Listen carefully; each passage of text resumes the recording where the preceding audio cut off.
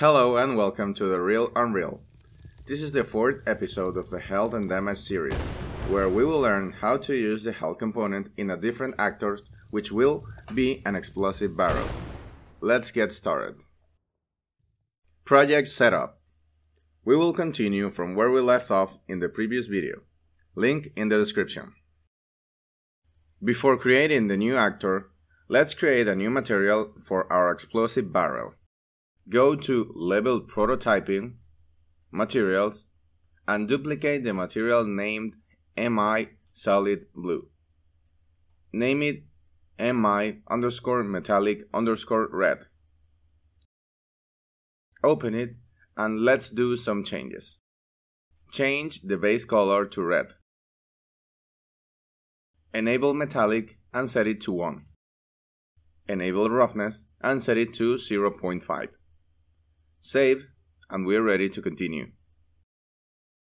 In the Health and Damage directory, create a new Blueprint class and select Actor as the parent class. Name it BP underscore explosive barrel. Open it and add the following components. One cylinder, which will be the mesh for our explosive barrel. Drag it and make it the root component change the material to the new metallic red, and set simulate physics to true.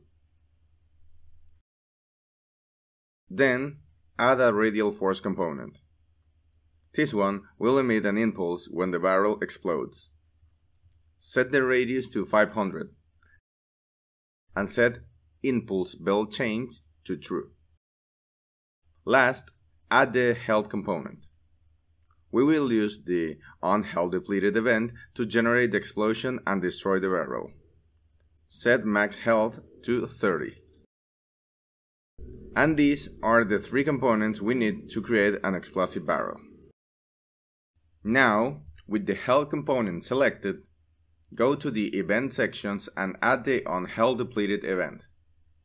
The first thing to do when the health of the barrel reaches zero is to execute the apply radial damage function. This function will apply damage to all the actors inside certain radius. Set base damage to 100 to make sure that the explosion will kill the character. Set origin to get actor location. Set damage radius to 500, which is the same value used for the radius of the radial force component.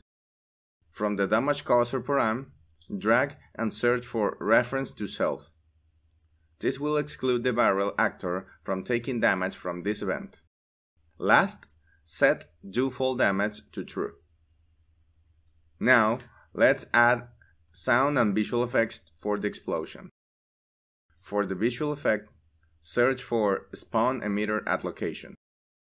Set emitter template to p explosion. Set location to get actor location once again. And in scale, set all the values to 3, so the explosion is 3 times bigger than normal. For the sound effect, search for play sound at location. Set sound to explosion cue. Set location to get actor location once again. Once the damage is applied and the effects are added, we just have to emit the impulse and destroy the actor to finish our explosive barrel. From the radial force component, search for fire impulse. This will emit an impulse with the parameters you configured in the component. And last, call destroy actor. Compile, save, and add this new actor to the level. I will add it just in front of the fire, so it's easy to push it to make it take some damage. Press play and push the barrel to the fire.